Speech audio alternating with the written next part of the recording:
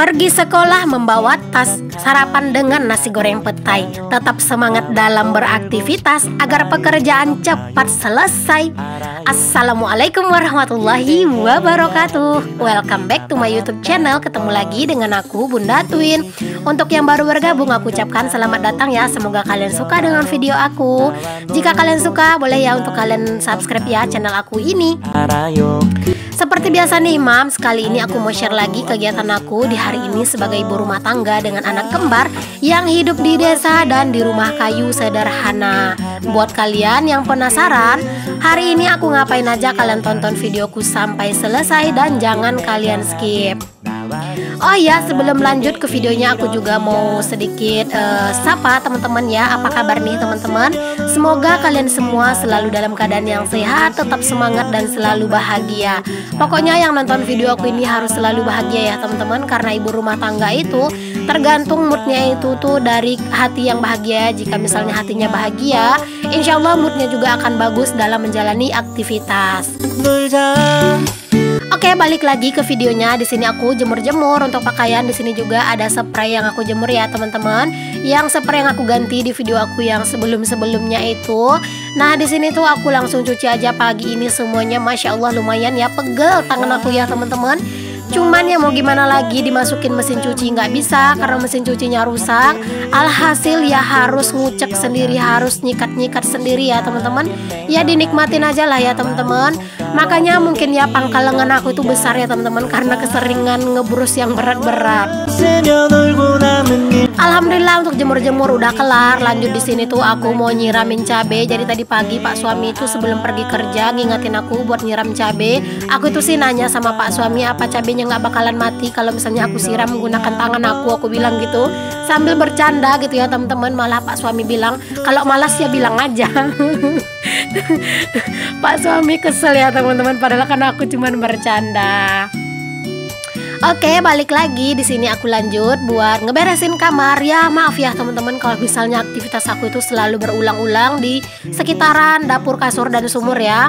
Nggak bosan-bosan nih aku bilang ke kalian semuanya, jangan pernah kalian pandang aktivitas aku yang membosankan, tapi cobalah kalian pandang semangat yang coba aku tularkan. Di sini aku beberes kamar ini tuh ditemanin si baby twin aku yang gemoy-gemoy yang super aktif Masya Allah. Ini tuh aktifnya anak-anak itu bener-bener ya teman-teman itu keseringan Mereka tuh manjat di jendela kamar itu ya. Jadi sekarang kalau misalnya pas aku lagi nggak di kamar ini jendela kamar itu aku tutup ya. Kecuali pas aku lagi beraktivitas di sini biasanya jendelanya aku buka supaya udara masuk tapi kalau aku lagi tidak di kamar jendelanya pasti aku tutup karena si adek itu tuh si adek ya teman-teman. Nah itu tuh yang barusan jatuh itu adalah si adek. Dia itu tuh suka banget manjat-manjat jendela gitu ya. Pernah sekali dia itu tuh nyangkut nggak bisa turun gitu ya teman-teman. Dia itu teriak-teriak. Jadi aku tuh benar-benar takut. Ntar dia itu malah kejengkang ke depan gitu kan. Jadinya aku itu putuskan aja untuk aku tutup aja jendelanya pas aku lagi nggak di kamar gitu.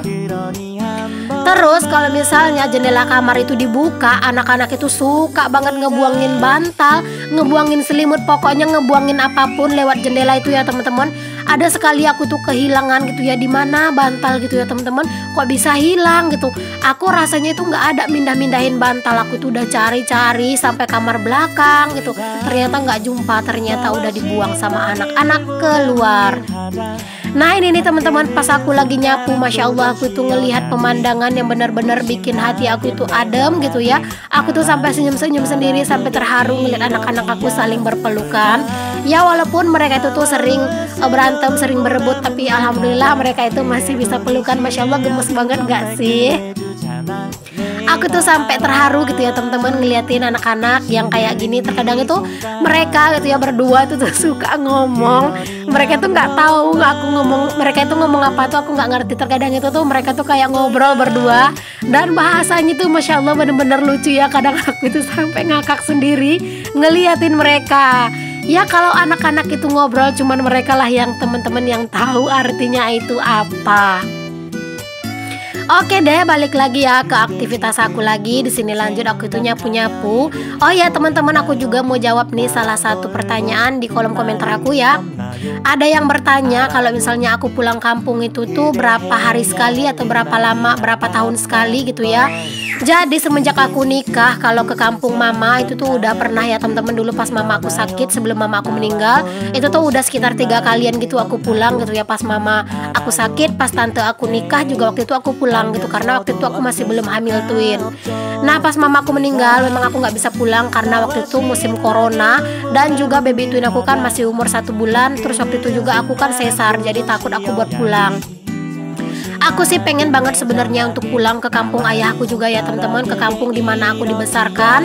Jadi pengen banget gitu ya pulang ke Pasaman Timur. Cuman memang untuk waktu dan kesempatan itu masih belum ada karena pak suami itu tuh bener-bener susah buat nyari cuti di tempat kerja ya teman-teman. Sedangkan hari Lebaran aja pak suami itu kerja gitu ya. Jadi apalagi kalau misalnya di hari-hari biasa kayak gini itu nggak bisa buat minta cuti gitu ya teman-teman biasanya ti, biasanya sih setahun sekali tuh tuh ada dapat cuti habis kontrak gitu ya. Kan pak suami itu kerjanya sistem kontrak. Jadi kalau misalnya kontraknya itu habis biasanya itu off dulu satu bulan baru setelah itu ajukan lamaran baru dan baru mulai kerja lagi biasanya gitu cuman ini tuh udah berapa ya udah dua tahun. Ini tuh nggak ada teman-teman yang habis habis kontrak. Biasanya sih habis kontrak tapi langsung dibikin kontrak baru gitu. Jadi nggak pakai libur karena kan pak suami itu dia operator kandang. Jadi dia itu bagian produksi. Makanya dia itu tuh mungkin nggak bisa libur gitu. Kalau dia libur siapa yang ngurusin ayam?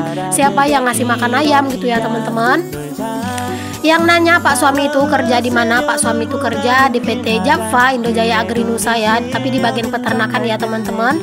Di sini tuh ada peternakan ayam deket banget dari rumah sekitar 5 menit 5 menitan juga udah sampai. Oke balik lagi nih teman-teman ke video anak-anak juga udah aku kelarin buat mandi tadi ya udah aku pakein baju terus di sini lanjut aku itu mau tidurin anak-anak dulu supaya aku enak beraktivitas. Nah setelah anak-anak tidur lanjut di sini aku itu buat ngisi-ngisi galon karena memang airnya itu udah habis gitu ya teman-teman. Nah balik lagi nih ke cerita yang pulang kampung itu. Aku tuh sebenarnya udah lama gitu ya pengen pulang kampung ke sana ya teman-teman. Pas lebaran kemarin juga pada pulang gitu kan Abang-abang sepupu aku pada ngumpul. Kayaknya cuman aku yang nggak pulang gitu Cuman ya karena memang pak suami nggak bisa Jadinya aku tuh nggak bisa pulang gitu. Ya walaupun kemarin tuh sih pak suami bilang sama aku Kalau misalnya kamu mau pulang ya pulang aja. Cuman kan nggak mungkin. Aku tuh bawa dua loh anak kecil ya rasanya tuh nggak mungkin banget kan teman-teman. Aku itu pulang Masya Allah aku jujur nggak sanggup aku ngurusin mereka di atas travel gitu ya teman-teman. Bener-bener nyerah di aku kalau harus ngurusin mereka berdua sendirian gitu. Makanya aku bilang ke pak suami nggak apa-apa tunggu aja nanti nanti oh, ayah dapat cuti. Aku bilang dapat empat hari atau lima harian aja cuti. Oh, kami tuh mau pengen pulang gitu karena aku juga rindu buat pulang ya teman-teman. Udah lebih tiga tahun gitu aku nggak pernah ngejejak kampung aku lagi gitu ya doain ya teman-teman semoga aku bisa segera pulang kampung nanti kalau misalnya aku pulang kampung aku pasti bakalan ngevlog di sana biar kalian juga lihat kampung aku itu seperti apa Oke balik lagi ke videonya di sini aku juga mau langsung angkat aja untuk si galon ke atas dispenser ya teman-teman. Siapa nih tim yang nggak bisa ngangkatin galon? Ayo cung jempol kalian ya. Siapa nih yang nggak bisa ngangkatin galon ya teman-teman? Kalau aku sih ya bisa-bisa aja. Sebenarnya awal-awalnya itu dulu nggak bisa cuman karena memang nggak ada yang tempat minta tolong gitu ya kecuali pak suami jadinya aku bisa bisain gitu. Kan nggak mungkin ketika pak suami itu lagi kerja terus galon aku habis aku harus nungguin dia pulang dulu kan teman-teman. Jadi itu tuh kan nggak mungkin. Nah makanya aku itu inisiatif buat ngangkatin galon sendiri. Ya alhamdulillah sih bisa gitu. Dan alhamdulillah juga tenaga aku yang besar sesuai lah ya dengan badan aku yang besar Oh ya teman-teman, di sini ada nggak nih yang orang Pasaman Timur yang daerah sekitaran Panti, Rau, Lubuk Sikaping? Ayo kalian tulis dong di kolom komentar ya. Siapa tahu uh, kita itu sebenarnya tetanggaan. Jadi siapa tahu nanti pas aku pulang kampung kita bisa ketemuan, Cailah. Oke balik lagi ke video aku nih teman-teman. Di sini aku lanjut buat ngelipatin pakaian dan juga aku mau sapa-sapa kalian semuanya.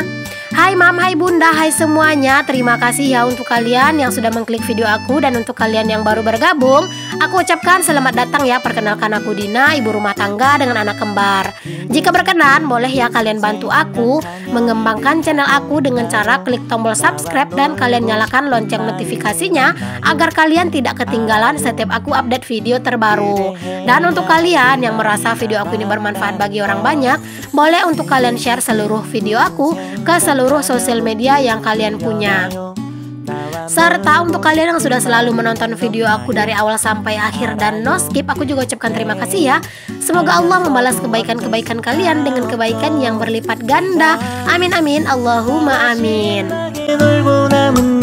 Oh ya teman-teman jangan salfok kalau misalnya aku itu berulang-ulang kali uh, megang-megangin HP ya. Jadi itu sebenarnya aku lagi SMS-an sama adik aku. Jadi aku itu lagi transferin adik adik aku itu uang ya buat uh, buat sekolah gitu ya teman-teman. Alhamdulillah kan sekarang aku udah punya penghasilan dari YouTube. Jadi aku itu pengen buat bantuin adik aku yang lagi sekolah kan. Ayah aku itu orang yang nggak punya ya teman-teman. Jadi terkadang ayah juga nggak sempat buat nggak ada uang gitu ya Buat ngirimin adik di kampung mama sana di pesisir selatan Jadinya yang nanggung biaya adik sekolah itu biasanya nenek dan juga paman-paman yang di sana ya adik-adiknya mama gitulah ya teman-teman. Jadinya pas aku lagi ada rezeki aku tuh pengen juga buat ngirimin adik aku uang. Makanya itu ya uh, pernah sih terlintas di pikiran aku buat ngadain giveaway segala macam gitu ya. Cuman kan giveaway itu sebenarnya kan juga berbentuk sedekah gitu ya. Sedekah yang paling baik menurut yang pernah aku dengar itu kan adalah ke keluarga kita sendiri dulu kan teman-teman. Jika keluarga kita masih susah, kita itu udah bersedekah ke orang lain itu tuh kayak kurang afdol. Jadi ya gitulah ya teman-teman untuk sekarang ini kayaknya untuk untuk giveaway aku itu masih belum bisa maafkan aku ya teman-teman bukan karena aku itu tuh sombong atau apa, cuman sekarang ini tuh aku mau fokus buat bantuin adik aku dulu. Dan juga sebagian juga aku mau fokus buat uh, ke rumah dulu ya. Jadi kalian tuh jangan berkecil hati. Jangan kalian itu bilang uh, orang lain aja giveaway kenapa bunda tuh nggak giveaway gitu ya. Aku juga belum gajian setiap bulan ya teman-teman. Terkadang gaji yang aku terima juga nggak terlalu yang banyak-banyak gitu ya. Ya mungkin kalian itu tahu lah uh, gaji aku yang sebelumnya itu berapa. Itu tuh gaji dalam tiga bulan gitu jika misalnya nanti aku udah gajian setiap bulan mungkin ya adik-adik adik aku juga nggak terlalu besar biayanya pengen juga sih gitu aku ngadain giveaway supaya kalian juga lebih bersemangat gitu ya teman-teman buat nontonin video aku. Tapi kalau untuk sekarang aku masih belum bisa aku minta maaf ya teman-teman. Karena untuk sekarang ini aku tuh pengen dulu buat nyelesain adik aku sekolah. Karena jujur aku tuh nggak pengen sekolah adik aku itu terbengkalai dulu seperti sekolah aku ya. Cukup aku dan abang aku yang nggak tamat sekolah karena keadaan jangan sampai adikku juga seperti itu. Jadi sekarang ini tuh di saat aku ada rezeki aku itu kayak nggak terlalu perlu minta minta izin sama Pak Su gitu ya buat ngisi buat ngirimin adik aku uang. Cuman sih tetap ya teman-teman kalau aku mau ngirimin uang biasanya aku juga ngasih tahu Pak suami. Aku bilang kalau misalnya aku tuh mau ngirimin uang Pak suami tuh sebenarnya mau aku ngirimin berapa itu dia tuh nggak open. Karena kan aku ngirimnya pakai uang aku pribadi gitu ya. Palingan kalau mau ditambah baru deh itu dari uang gajinya Pak suami gitu ya teman-teman. Cuman kalau dari uang aku sendiri itu tuh pak suami nggak pernah nanya-nanya. Bahkan terkadang itu pas aku mau bikin uh, mempercantik rumah kata pak suami. Beli dulu lah apa yang kamu inginkan kata pak suami supaya kamu lebih semangat. Cuman aku bilang keinginan aku yang menjadikan rumah ini nyaman aku bilang gitu. Oke deh teman-teman, balik lagi lah ke videonya ya. Daripada kebanyakan cerita yang nggak jelas akunya. Di sini aku lanjut buat ngelipatin pakaian ini ya teman-teman. Ini tuh lumayan banyak sih pakaian aku. Sebenarnya pakaian itu harus dilipat setiap hari ya teman-teman. Cuman nggak tahu kenapa kalau untuk standby selalu ngelipatin pakaian ini tuh agak rada-rada mager gitu ya. Entah kenapa lah pokoknya. Ada nggak sih yang jual obat mager? Kalau ada jual obat mager aku kayaknya pengen beli deh. Teman-teman, jika misalnya di suara dubbing aku ini kalian itu mendengar suara kucing, tolong abaikan ya teman-teman. Jadi sekarang di rumah itu ada peliharaan baru yaitu kucing, anak kucing ya. Sengaja diambil anak kucing itu tuh biar kayak ada kala jengking nanti mereka yang lihat gitu kan, terus cicak, terus kalau misalnya ada tikus juga gitu kan, biar bisa dimakan sama kucing gitu. Karena di rumahku tuh banyak banget cicak ya teman-teman, bikin kesel deh terkadang itu tuh cicak gitu ya.